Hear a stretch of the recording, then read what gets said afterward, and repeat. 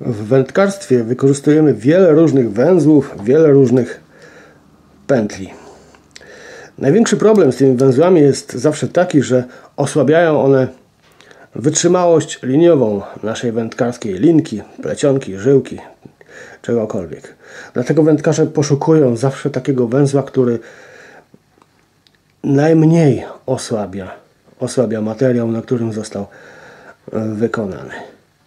Ja na wstępie tego odcinka szkoły portalu marfish.pl Wędkarstwo i Przygoda pozdrawiam Darka Bęcka, z którym e, konsultowałem ten odcinek. Konsultowałem e, perfekcyjną pętlę, bo właśnie teraz chcę Wam pokazać jak zawiązać perfekcyjną pętlę. Dlaczego ona się nazywa perfekcyjna? Dlatego, że właśnie według obserwacji e, wielu wędkarzy, według obserwacji przede wszystkim karpiarzy, bardzo mało, w małym stopniu osłabia, e, osłabia fluorokarbon. Jest bardzo dobra do wiązania właśnie na fluorokarbonie, aczkolwiek wykorzystywana jest także do wiązania mm, na końcówce włosa e, w zestawach karpiowych. Za chwilę wszystko pokażę. Pokażę dwa, dwa sposoby wiązania perfekcyjnej pętli. Dwa sposoby ze wskazaniem na pierwszy, bo ten jest jakby bardziej mm, taki prosty. Jednocześnie mniej, a to istotne, właśnie o to chodzi, mniej osłabia, osłabia e, żyłkę. Fluorokarbon jest materiałem, jak wiemy, bardzo mocnym, twardym, ale przez to też i kruchym takim, na którym właśnie wszelkiego rodzaju węzły powodują, że jest on e, dużo słabszy. Tego rodzaju pętla wykorzystywana do mm, przede wszystkim łączenia fluorokarbonu z miękką żyłką e, w przyponach łamanych. Tego rodzaju pętla no, w jak najmniejszym stopniu osłabia, osłabia sam fluorokarbon, no ale dosyć już tego gadania, dosyć wstępu. Jak zrobić perfekcyjną pętlę. W tym ułożeniu rąk, jaki mam teraz, tak żeby pokazać jak to wszystko wygląda, e, robimy pierwszą pętlę w ten sposób. Wyciągamy ją, wyciągamy końcówkę naszej linki pod spodem.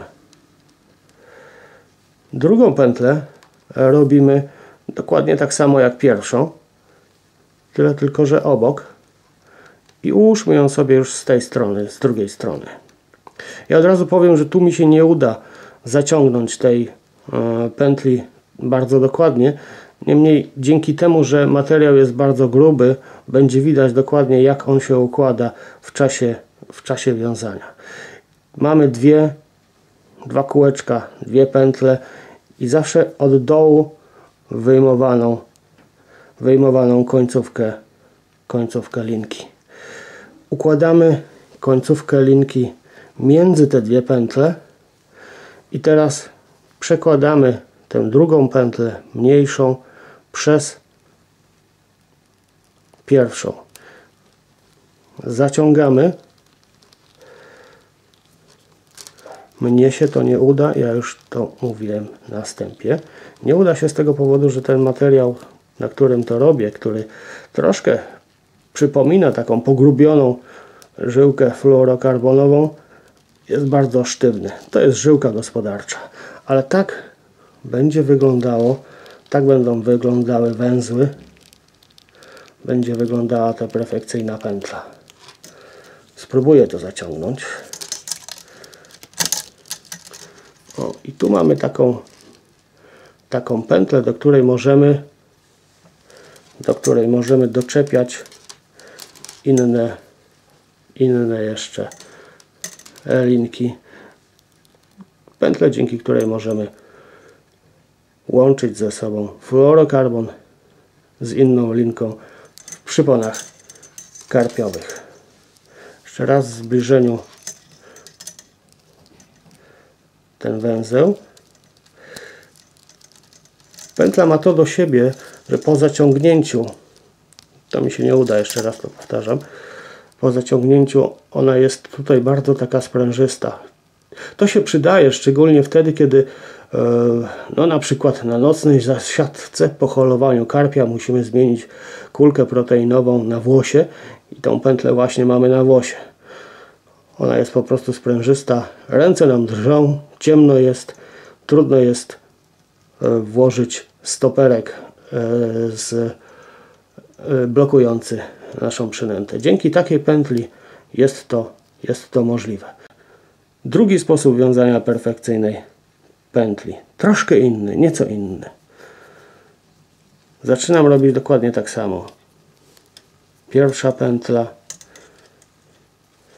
druga pętla.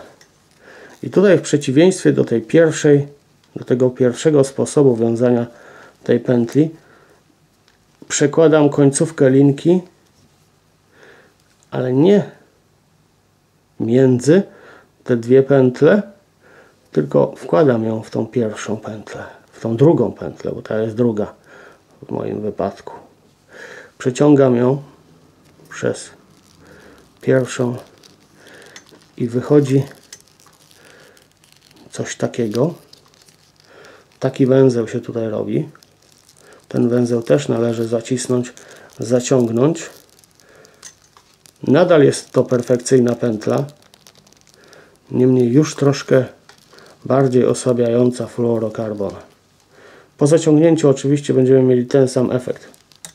U mnie się to nie daje zaciągnąć. Ja za chwilę to samo pokażę na materiale, który jest bardziej podatny, bardziej um, taki miękki, dzięki któremu będzie można pokazać te dwa węzy, te dwie perfekcyjne pętle pokazać tak, że po prostu one się zakończą, zacisną dokładnie. Ta linka to letkor z wyciągniętym rdzeniem ołowiowym ze środka. Tak samo pokażę pierwszą wersję perfekcyjnej pętli. Pokazuję te, tę pętlę tak dokładnie, ponieważ jest ona tego warta. I jeżeli ktoś będzie przeglądał ten film, chciałbym, żeby bardzo łatwo nauczył się wykonywania tego, tego węzła, tej pętli. Mi się troszkę nie chce to uformować, ale myślę, że to widać. Pierwszy raz przez między tymi dwoma pętlami przeciągam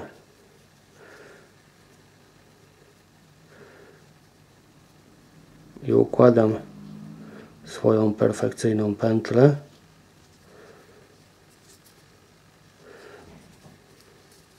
Znowu mam ten sam efekt tej takiej rozwieralnej, sztywnej pętelki na końcu.